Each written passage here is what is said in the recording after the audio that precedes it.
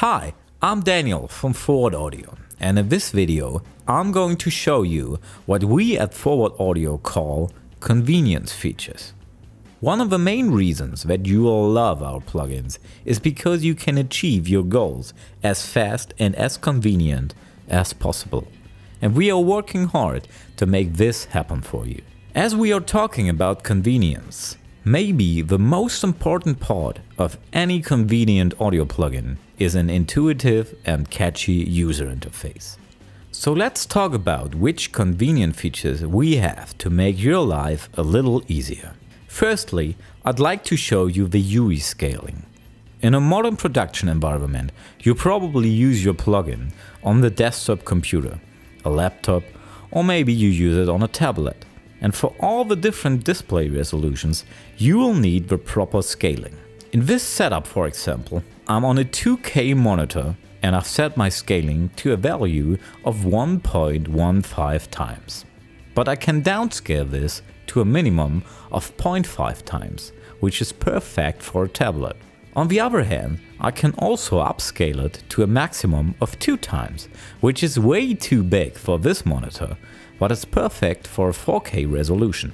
So there you have all the possibilities you'll need from a small tablet up to a 4K display. Now, let's say you've played around with the scaling a little bit and you've found the perfect size for your needs. Then you can switch to the system page by clicking the gear icon and there you can type in your favorite scaling factor. From now on, every time a new plugin is inserted, it automatically scales to your preferred size. You can also reset the scaling to this user-defined scaling factor by double-clicking on the resizer icon in the bottom right corner. Additionally, the scaling factor is also saved whenever you save your project, which means you can have different scaling factors for individual plugin instances, and if you reload your project, everything stays the way you've saved it. Let's proceed with another important convenience factor, the knob handling. Especially with our big knobs, like the ones used in FA Time Aligned and FA Sample Delay, you'll have a huge range of settings you can easily swipe through.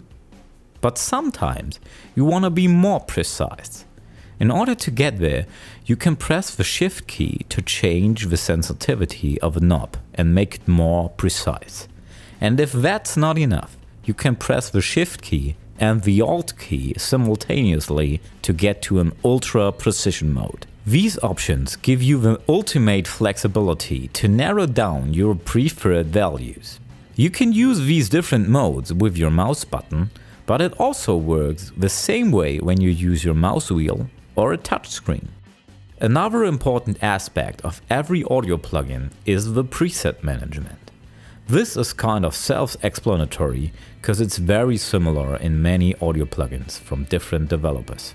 What I want to show you are some specialties you've otherwise wouldn't find out about. For example, in our plugins you can specify a default preset. To do that, you simply prepare your settings and then you go to the preset menu and click Save as Default.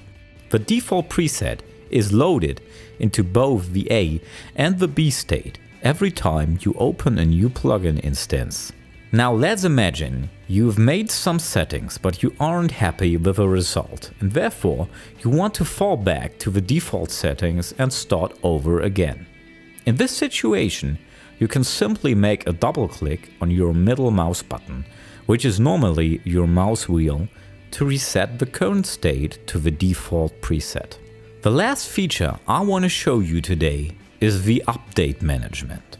If you want to manually check if a new plugin version is available, simply switch to the system page and click on check for update. You will then get a message box that tells you if a new version is available. If so, you can directly download it to your preferred download folder. This folder is set to your system's download folder by default but with a button change download path, you can change it to any folder you'd like. Also, you can consider to activate the automatic update feature, which checks every now and then for a new version and automatically downloads it into your download folder. If you have any problem with the features shown in this tutorial, or maybe you have a groundbreaking idea for new features, please write us an email to support at forward-audio.com and we will reply to you as soon as possible. Thanks for watching.